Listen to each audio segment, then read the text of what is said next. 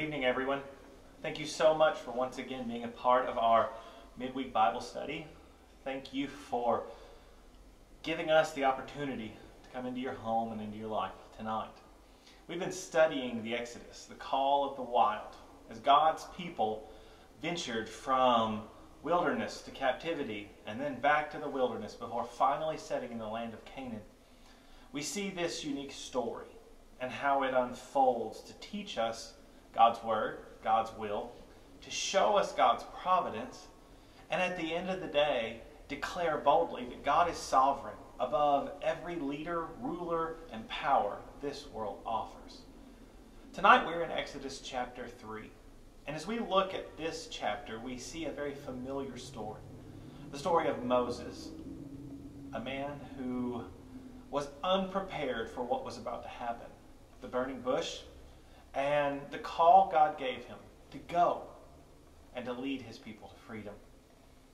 One of the things that I have discovered in my study of the Exodus is that God's not always just powerful in the big booming moments.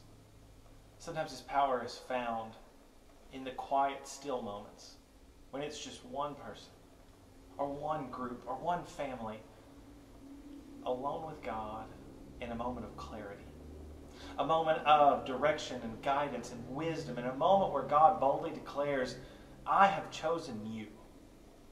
There's a job at hand. You're not the only one who can do it, but you're the one I've picked. Today, I want you to know, and I, I want you to be able to say with confidence that you know God has something for you some kind of a work or a plan. Oh, uh, a path, a journey. I don't know how you define it. That, that doesn't matter to me.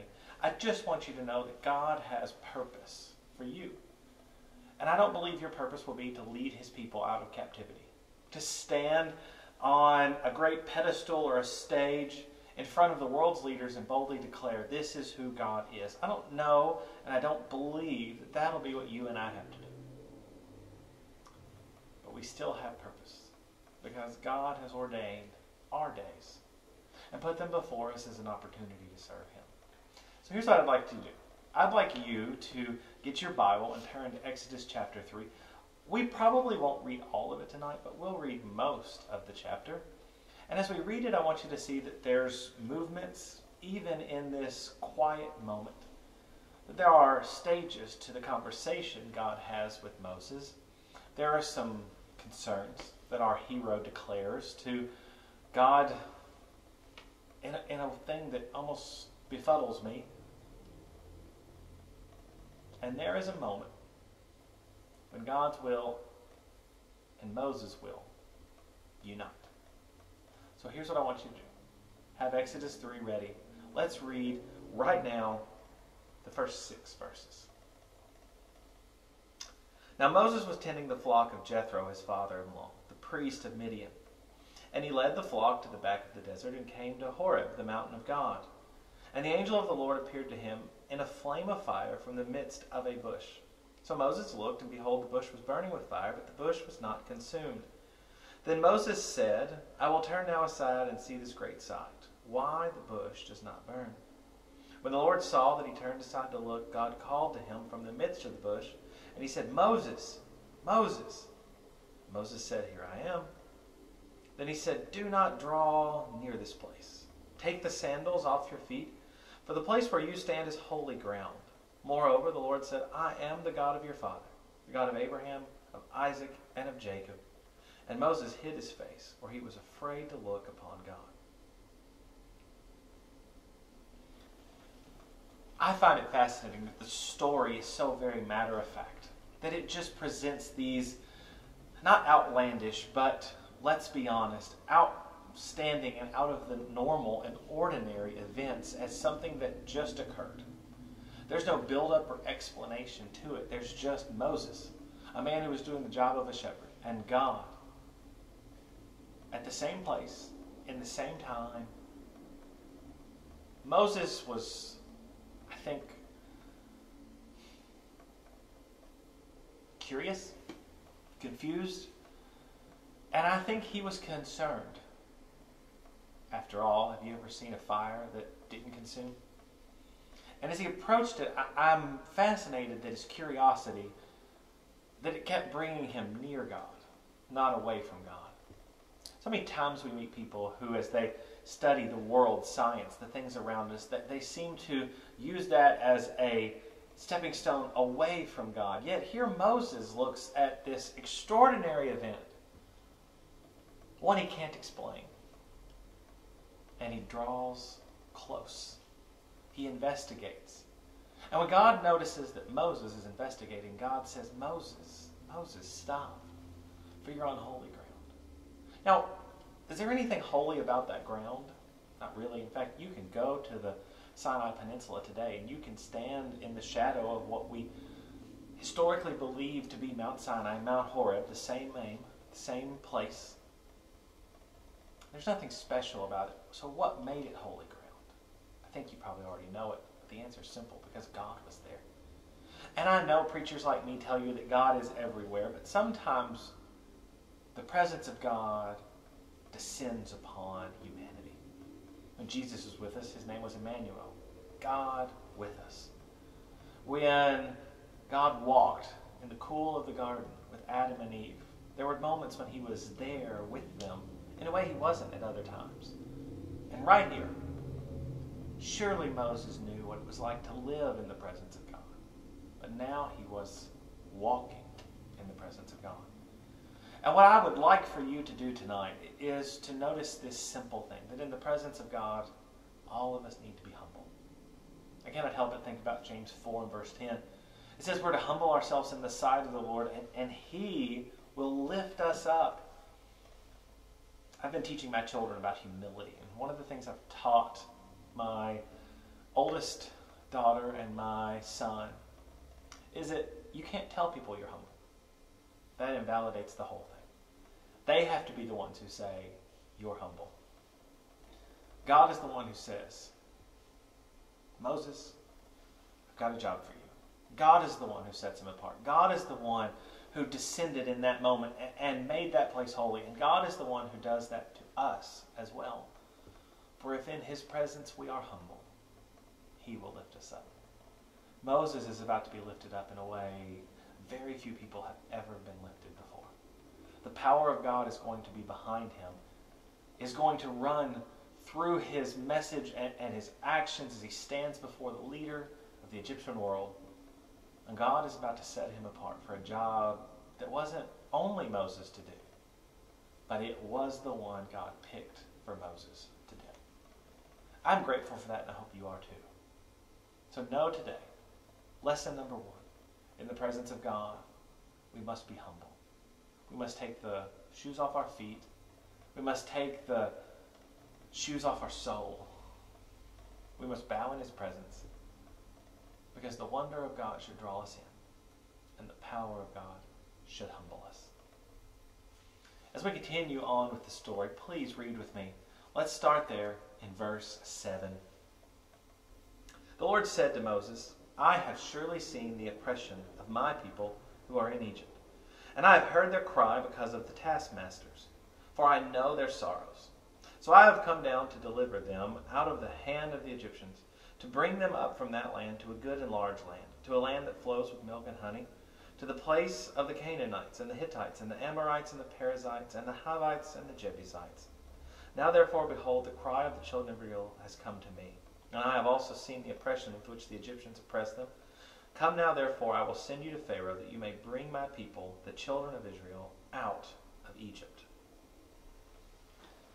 Second lesson that I really want you to see tonight from this story is that God's not a negligent father, nor is he an uninterested observer God is actively involved in the life of his people if we realize it or not, and he is aware of what's going on if he tells us or not. Just today, I had a conversation with someone, and we were discussing at lunch how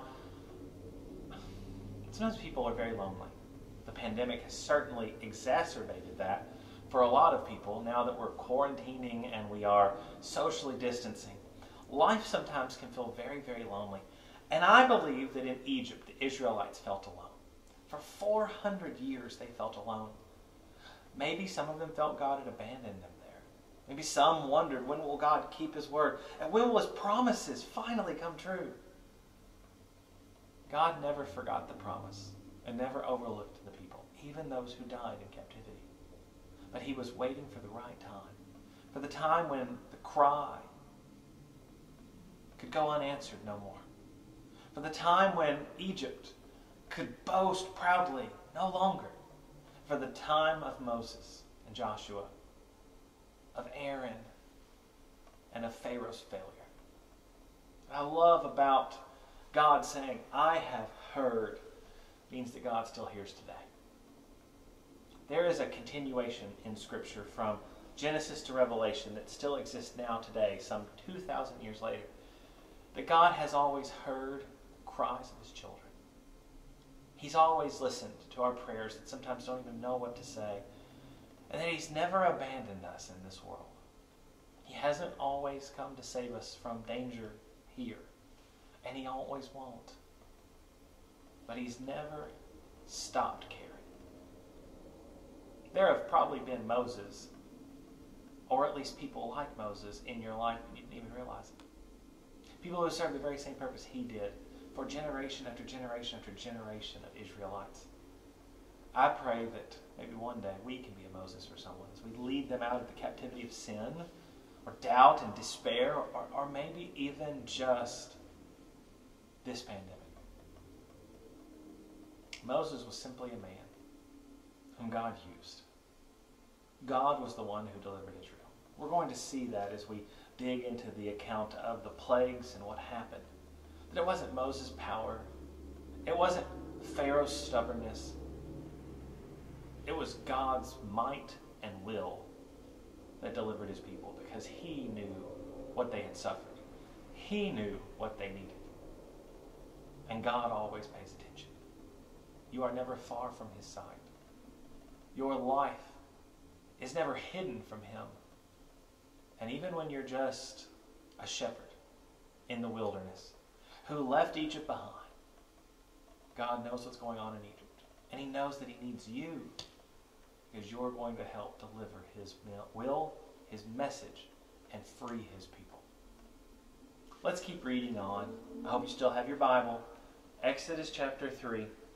Let's start verse 11. It says there that Moses, when he responded to God, said, Who am I that I should go to Pharaoh, that I should bring the children of Israel out of Egypt? God said, I will be with you, and this shall be a sign to you that I have sent you. When you have brought the people out of Egypt, you shall serve God on this mountain. Then Moses said to God, Indeed, when I come to the children of Israel and say to them, The God of your fathers has sent me to you, and they ask, What is his name? What shall I say to them? And God said to Moses, I am who I am. And he said, Thus you shall say to the children of Israel, I am has sent me to you. Moreover, God said to Moses, Thus you shall say to the children of Israel, The Lord God of your fathers, the God of Abraham, the God of Isaac, and the God of Jacob, has sent me to you. This is my name forever. And this is my memorial or my title to all generations. Go and gather the elders of Israel together and say to them, The Lord God of your fathers, the God of Abraham, Isaac, and Jacob, appeared to me, saying, I have surely visited you, and seen what is done in Egypt, and have said, I will bring you out of the affliction of Egypt to the land of the Canaanites, and the Hittites, and the Amorites, and the Perizzites, and the Hivites, and the Jebusites, to a land flowing with milk and honey. Then they will heed your voice, and you shall come, you and the elders of Israel, to the king of Egypt. You shall say to him, The Lord God of the Hebrews has met with us.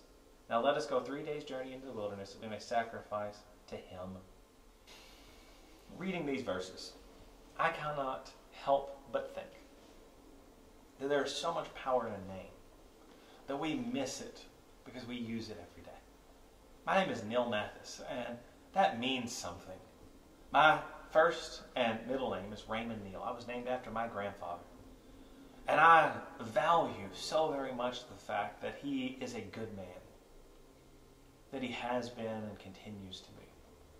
I am grateful that he raised a family faithfully that still to this day honors God. I am grateful that my last name is Mathis, the name of my father and my grandfather and my great grandfather. And that I carry that name into the future. That I gave that name to my son, Max, and to my daughters, Molly and Maggie. That that's the name they wear, and we wear it so proudly. And even though it may not mean anything to you, it means everything to me. We're going to see later in Exodus that when Moses stands before Pharaoh, and he says, The Lord God of Abraham, Isaac, and Jacob, the God of my fathers, has declared, Let his people go. Pharaoh says, I don't know him. Does that make God any less powerful or any less real? You might not know me or my grandfathers, my father who gave me my name, but, but you know me. And my name means something because it's theirs, and now it's mine. It meant something yesterday. It means something today, and it will mean something tomorrow. Power of a name so wonderfully demonstrated in God simply saying, My name is I am. For I was. I am, and I will be. John 8 and verse 58, Jesus connects himself to that when he says, Before Abraham was, I am. It's simple and it's easy. There's no explanation necessary. God simply is. And when he proudly proclaimed his name, he knew that's what people will know me by. They've known me by that and they will continue to know me. It is my title, my memorial for generation after generation, and I still serve today the great I am. If you're a Christian, you. The same one who spoke to Moses is the one who hears my prayers. The same one who knew cries of the Egyptians is the one who hears my cries. And the same one who gave Moses a task to do is the one who puts a task in front of me. I cannot help but wonder what Moses must have been thinking through the whole ordeal. You know, at times he was unsure of himself. They didn't believe he would be the one. That he was probably shocked that God picked him, and he felt very unqualified. But here's the real parting lesson I want you to have today. You know what the burning bush teaches us? It doesn't just teach us that God is real. It doesn't just teach us that God listens. It doesn't just teach us that God is and will be. It teaches us that we have purpose. I wonder what my burning bush moment will be. Maybe I've already experienced it. And maybe being a minister is the exodus God put me on. Maybe when I was in college studying the Bible, studying at an advanced level the thoughts of Scripture and how it connects together so that I, I could be a minister and, and, and teach you tonight. Maybe that was my burning bush moment when God was speaking to me and saying, Neil, I've got something for you. Maybe there's still a moment waiting. All I know is that God has a purpose for all of us. And every day I look for that purpose. I believe tonight that purpose is to teach this lesson. And I believe tomorrow that purpose may be to do something similar. But I'll continue to look because I believe that God still speaks. And I believe that when God speaks, we should listen. And that when God sends us, we should go. And I believe that He still does that every single day. The call of the wild is the call into God's presence, into the place where it's just you and Him. And you leave behind everything else to be faithfully His. Moses ran from Egypt, and then he ran right back because God said, That's where I need you. So, where does He need you tonight? Are you listening? He's probably shown you. Have you gone, or did you make an excuse not to? The great I am still uses us to go places so that his will may be seen and to do things so that his message may be heard and to be things, to be his, so that the world may know that when he spoke, we listened. Next week, we'll talk about the first few moments in Egypt, the moments that precipitate and help set the stage for the ten plagues and all that unfolds. So thank you very much for watching tonight. My name is Neil Mathis. I'm the minister at the Tompkinsville Church of Christ, and I'm always grateful to spend this time with you. I pray that today has been a wonderful day and that this lesson has been a blessing. If you have questions, come to our website, www.tompkinsvillecoc.com. You might find answers. Come worship with us every Sunday at 10 a.m. Or just give us a call, 487 8366. We're always here to study, to learn, and to grow closer together with one another as we grow closer to God. So thank you tonight for being a part of this. Bye, my.